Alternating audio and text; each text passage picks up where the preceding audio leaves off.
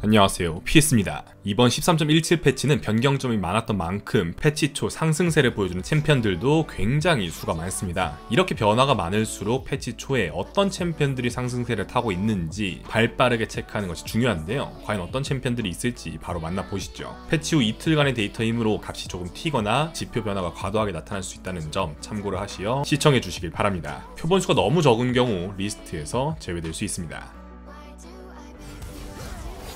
사미라는 기본 체력 30이 늘어나는 직관적인 버프를 받았었죠. 사거리도 짧고 아군 CC기 중심의 서폿과 함께 단번에 교전을 열고 들어가면서 킬각을 잡는 식으로 플레이를 해야 하기 때문에 초반 내구도가 올라간 건 의미가 있었습니다. 초반에는 주도권을 내주다가 한 번에 들어가야 하는데 진입각을 잡기도 전에 체력이 떨어져 킬각을 제대로 잡지 못하는 상황이 줄어들었거든요. 그 결과 6렙 직후 고점도 올라왔고 중반 저점도 완만해졌죠. 또한 최근 계속해서 value가 떨어지고 있던 드락사르 대신 1코어 징수의 총 build로 옮겨가고 있는 것과 메인 3코어 아이템인 철갑궁이 이번 패치 버프를 받은 것 또한 사미라의 상승세에 도움을 주었던 것 같네요. 아직까지 이어지고 있는 탱폿 메타와도 워낙 잘 어울리고 솔랭에서 활약하기 좋은 skill set을 가진 만큼 사미라 각까지도 같이 보시면 좋을 것 같습니다.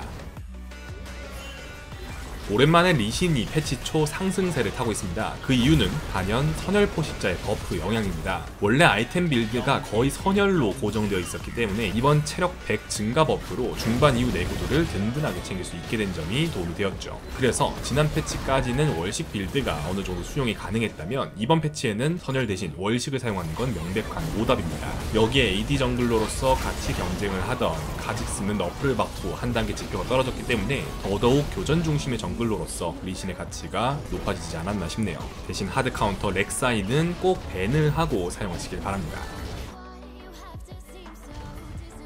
바로 직전에 렉사이를 ban하고 리신을 사용하시라고 이야기를 드렸었죠. 뒤집어 말하면 렉사이의 상대적 가치가 더 올라왔다는 이야기이기도 합니다. 픽률 20%대로 정글에서 자주 만나는 리신을 상대로 완벽한 카운터인데다 최근 픽률이 올라온 자르반에 꾸준히 성적이 좋았던 카직스까지 모두 잡아먹는 그런 체급을 보여주고 있거든요. 여기에 발분까지 추가 버프를 받게 되면서 아이템 패치 수혜를 본 대상에서도 빠지지 않았으니 AD 정글러 중에서는 경쟁자가 없을 정도의 체급을 갖게 되었습니다. 이미 3단 너프가 적용되었는데도 이 정도 지표라면 한 번 더 너프를 해야 할 것 같은데 롤드컵 balancing까지 신경을 쓰다 보면 패치 우선순위가 밀릴지도 모르겠네요. 항상 솔랭에선 성적이 좋아도 너프가 한 박자씩 늦었기 때문에 더더욱 라이엇이 건드리기 전까지 꿀을 빠시길 바랍니다. 이번 패치 조이의 버프는 다른 mage 챔피언들이 받은 버프에 비해 소소한 편이었습니다. 그럼에도 불구하고 꽤 의미 있는 상승세로 출발을 하고 있는데요. 일단 버프 내용을 다시 한번 짚어볼까요? 기본 체젠 증가와 E스킬 버프가 있었습니다. 사실 현재 조이의 상승세는 방금 본 버프의 영향보다도 나피리의 너프 영향이 조금 더 크지 않았나 싶은데요. 나피리의 무리 때문에 non-target 스킬이 자주 막히는 데다 도주기가 없어 W에 대처하는 게 불가능했었거든요. 그 결과 지난 패치 기준 상대 승률 40%대로 최악의 카운터였 있었지만 이번 패치 크게 나피리가 너프를 받으면서 만날 일도 적고 상대하기도 훨씬 편해졌습니다. 항상 숙련자들에게는 강한 라인전 능력으로 게임을 굴리기 괜찮은 pick이었는데 그 자리를 조금 더 공고히 했다라고 보시면 될 것 같네요. 아트록스의 passive와 W 데미지가 마법 피해로 바뀐 건 결과적으로 도움이 되었던 것 같습니다. 지표도 올라왔고 power curve 자체가 초중반 라인전 강점이 더 두드러지는 모양새를 띠고 있거든요. 초중반 단계에는 마저 stat이 낮기도 하고 방템을 올려도 패시브와 WD를 감소시키지 못해 아트록스의 피흡량까지 늘면서 강점을 갖게 된 것으로 보입니다. 물론 방관 아이템을 갖추게 된 이후부터는 마법 피해로 바뀐 것이 단점으로 바뀌겠지만 이번 패치 버프를 받은 선혈 build를 적극 채용할 수 있게 되면서 그 영향을 줄일 수 있었습니다. 어차피 전사 아이템도 충분히 잘 어울리는 아트록스인데다 라이엇의 아이템 build도 이쪽을 늘려주고 있거든요. 물론 방관 아트로 써도 성적이 확 떨어지지는 않으며 이번 마법 피해 변경 자체가 아트록스에게는 전체적으로 득이 되었다라고 받아들이면 될 것 같습니다. 성장 AD가 떨어지고 체력 그리고 방어가 올라간 아크샨은 현재 승률 54.1% 픽률 3.7%로 엄청난 꿀향기를 풍기고 있습니다. 사실 단순하게 계산을 해봐도 stat 하나 너프 그리고 나머지 두 개의 버프이니 이득이다 라고 볼 수가 있는데 특히나 아크샨은 내구도가 올라간 게 영향이 컸습니다. 어차피 몰락, 마최처럼 AD stat과 관계없는 고유 데미지로 딜을 하고 있었던 데다 사거리가 짧아 중후반 한타에서 딜을 하기 어려웠던 게 stat이 올라가면서 부담이 확 줄어들었거든요. 여기에 최근 코어 템으로 채택 중이었던 발분 부분까지 추가 버프를 받아놨죠. 그 결과 아예 챔피언 power curve가 우하향 곡선에서 우상향 곡선으로 모양 자체를 바꿔버릴 정도로 뛰어난 성능을 보여주고 있습니다. 사실 W 부활 때문에 중후반에도 영향력이 커야 했지만 한타에서 딜을 하기 어렵다는 점이 발목을 잡고 있었거든요. 지금 curve로 보면 초반에도 snowball을 굴릴 수 있으면서 중후반 기대값까지 가져가는 만능형 챔피언이 된 상태입니다. 지금 미드에서는 다크샷만 잘 다루어도 솔랭 치트키가 되어줄 수 있겠습니다. 블츠는 워낙 변경점이 많고 buff와 nerf가 뒤섞인 조정이라 어떤 결과가 나타날지 미지수였는데요. 패치 초 데이터는 승률 1.9%포인트, 픽률 0.6%포인트가 상승을 하여 전보다 더 뛰어난 성적을 기록하고 있습니다. 일단 passive 보호막이 고정 30%가 되면서 내구도 체감이 확 늘어났다는 점이 가장 컸던 것 같고 다른 기본 체력 그리고 방어 stat까지 증가를 하여 초반이 굉장히 튼튼해진 블츠입니다. 한편으로 블츠는 전역 갑주를 올리지 않는 챔피언이었고 다른 경쟁자 위치에 있는 탱폿들은 갑주를 꽤 자주 사용하고 있었기 때문에 상대적인 빌드 패치 수혜를 누리면서 지금과 같은 상승세가 나타난 것으로 보면 될 것 같습니다. 복잡하게 생각할 것 없이 이번 패치는 블츠에게 이득이었습니다.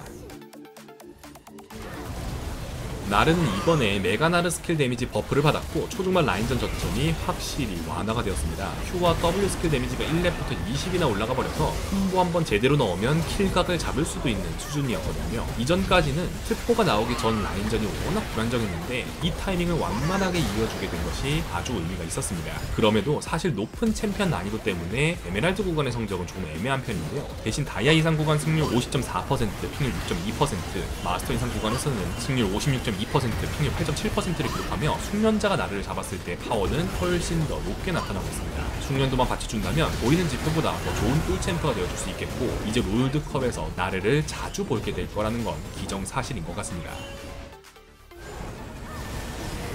벡스는 buff를 받은 이후 조금 더 안정적이면서 높은 라인전 고점과 중반까지 이어지는 영향력을 얻게 되었습니다. 원래도 라인전이 강한 편에 속했지만 Q스킬 데미지 증가와 W 1렙 쿨 4초 감소로 상대를 더 강하게 압박하고 받아치기도 편한 모습을 보여주고 있죠. 또한 이번 패치 리신, 자르반처럼 벡스와 조합을 하여 게임을 굴리기 좋은 AD 정글러들도 같이 상승세를 타고 있기 때문에 조합 시너지를 맞추기가 편해졌고 전보다 더 좋은 성적을 거둘 수 있을 것으로 보입니다. 현재 미드 챔피언 풀에서 게임을 적극적으로 굴리기 좋은 mage mage를 뽑는다면 벡스를 가장 추천드리고 싶네요.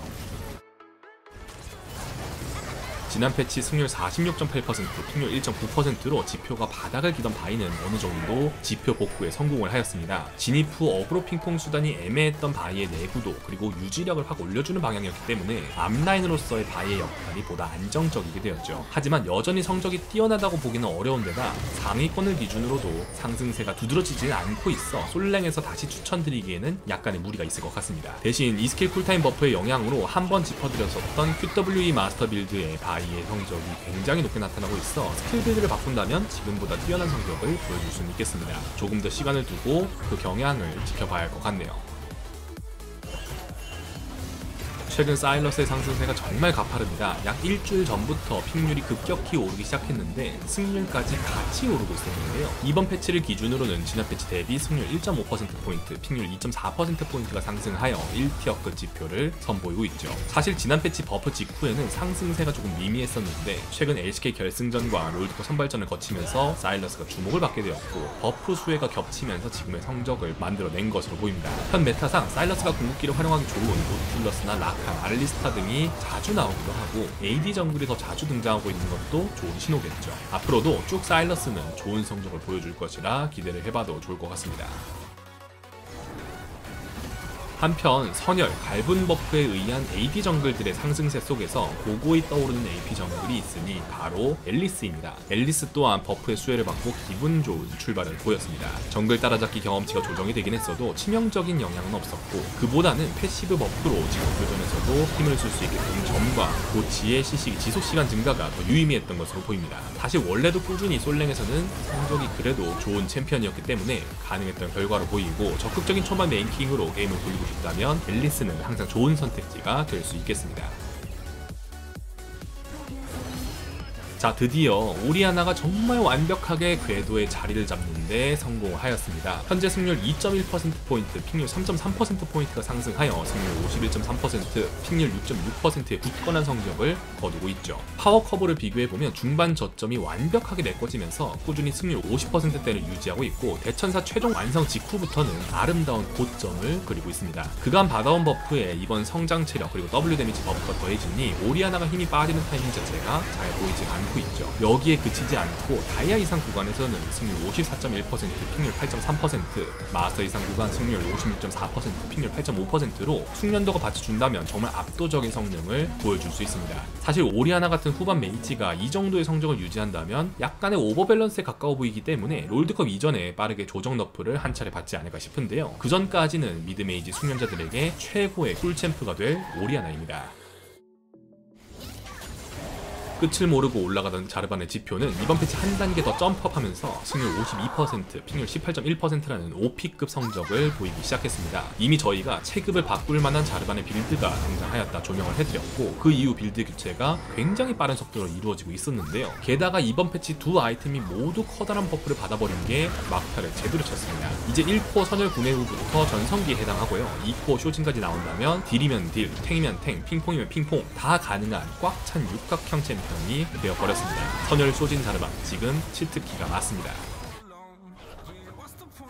사거리 175가 된 트린다미어는 신이었습니다. 공격력 4감소라는 조정사항이 있었음에도 승률 4.1%포인트, 픽률 6%포인트가 올라가 승률 53.1%, 픽률 7.2%라는 압도적인 상승세를 보여주고 있죠. 전에는 평타를 한 번밖에 못 치는 구도에서 지금은 두 대를 친다거나 평타 이동, 평타 이동을 하는 상황에서 훨씬 더 매끄럽고 편하게 평타 딜을 넣을 수 있어 buff 체감이 정말 어마어마합니다. 한 대 때릴 상황에서 두 대를 때리는데 AD 4 너프가 무슨 큰 의미가 있겠습니까? power curve 상으로는 매우 탄탄한 1tier급 챔피언의 커브를 그리고 있습니다. 역시나 사거리 50 증가는 어마어마한 buff였고 뭐 일단 밸런스를 떠나서 많은 탑 유저들이 들썩이게 만들었으니 패치 성공이라 봐야 하려나요? 이대로라면 아마 트린에게 nerf가 추가로 들어가지 않을까 싶습니다. 추가로 미드 트린까지 등장할 정도이니 여러분은 항상 게임에 들어가실 때 트린을 염두에 두시고 플랜을 짜시기 바랍니다. 오늘은 13.17 패치 떡상 탑 15을 살펴보았습니다. 도움이 되었길 바라며 영상 마치겠습니다. 감사합니다.